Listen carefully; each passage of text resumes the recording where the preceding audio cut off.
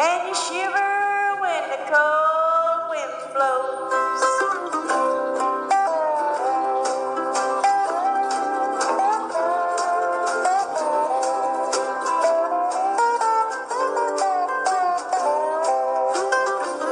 The longest train I ever saw.